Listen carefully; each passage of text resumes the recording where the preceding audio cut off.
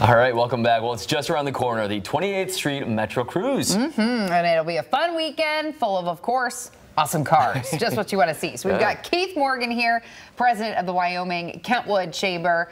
Keith, good morning. Thanks for being here. Good morning. Thanks for having me. I really appreciate it. We're talking all things Metro Cruise. So tell us about this year. Well, this year we're going to be going on. We've got the uh, 26th and 27th. Will be on Friday and Saturday. Um, we're going to be doing same festivities like we've done in the past. So this has been an ongoing event, 17 years now. Wow. And um, you know we're anticipating lots of events, but we also have a lot of uh, and a lot of, or a huge crowd that's going to be coming up.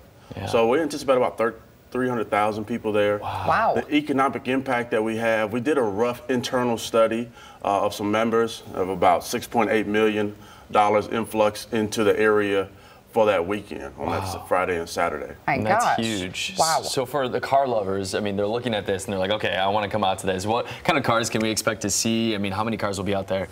So you're going to see all kinds of cars. You're going to see um, everything from old classics Yeah. to some newer cars.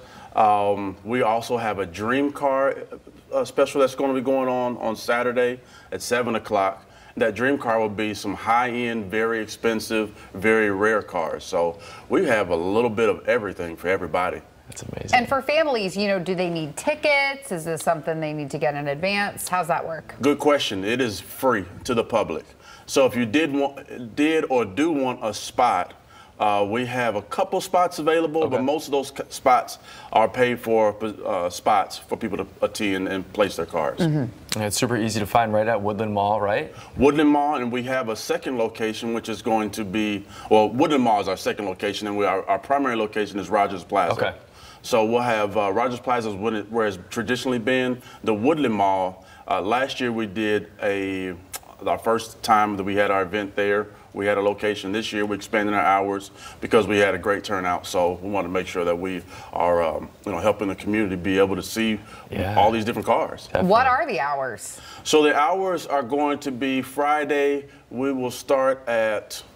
I know we both the days we end at 11, but Friday uh, we start at two. Okay. Okay. On Saturday we start at 11.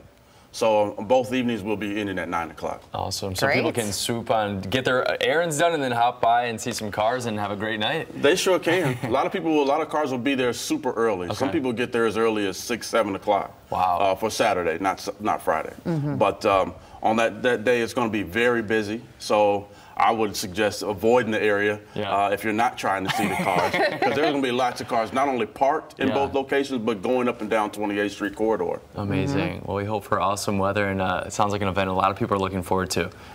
We are too. All right, Awesome. Keith. Thank you Thanks, so Keith. much. Thank you. All right, it is now 7:28. Still ahead this morning. Whole Foods opens today.